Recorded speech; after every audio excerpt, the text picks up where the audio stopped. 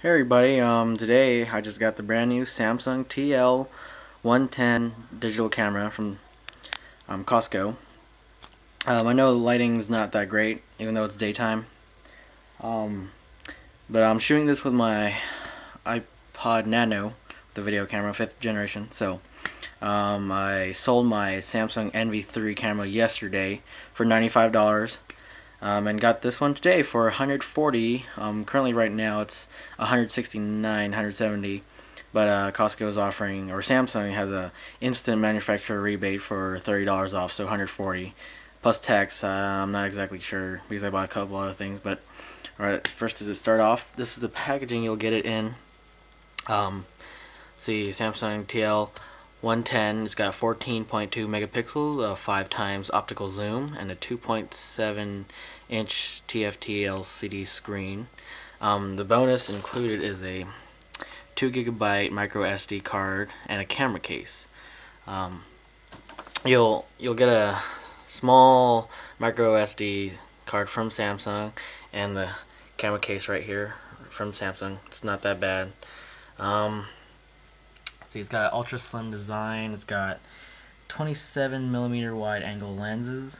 Um, 720p HD video. I've seen some video on YouTube shot with this camera. Looks really nice. Can't wait to make some videos with this camera.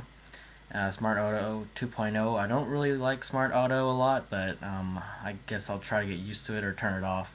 And dual image stabilizing, which eliminates the blur while the camera shake, which my other camera had uh, a little bit. Let's see contents. The camera itself, a lithium ion rechargeable battery. It's the same one, 3.7 of uh, 3.7 forgot watts or something like that. Um, just like the NV3. Uh, let's see the master software, USB cable, AC adapter, and this quick startup guide.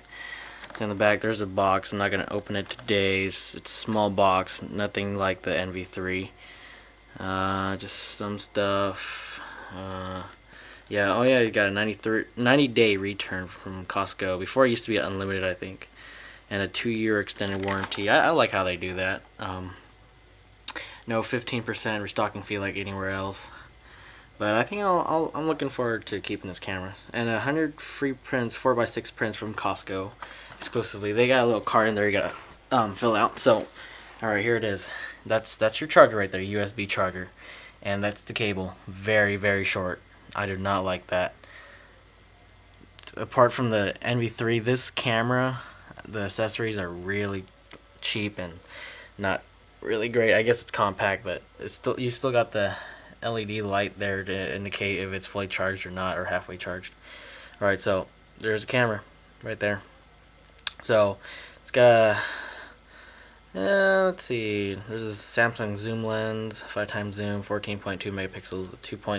7 inch screen on the back, your directional pad, D-pad, whatever menu key, mode button, delete, and uh, other key.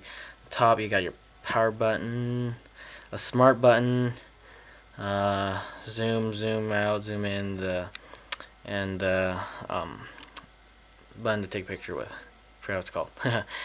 but um, okay, so just saying uh, this camera, the weight is very light. Um, that's what I don't like. It doesn't feel as sturdy and, you know, legit as the NV3. But I guess that's what you pay for, right? It's a little bit cheaper. Um, you know, that's what you get. You know, I paid around 200 $230 for that NV3 camera, including a 1 gig memory card from Circuit City. You know, it felt great. Oh yeah, here's the bottom. There you go. You got your battery in there and the micro SD card. You know, you got a little plastic uh, battery holder.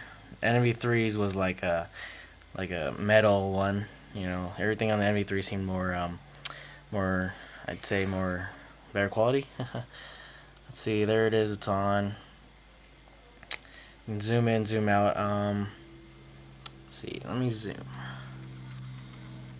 I know it's dark. Sorry, I'll, I'll make another video, but um, but probably later.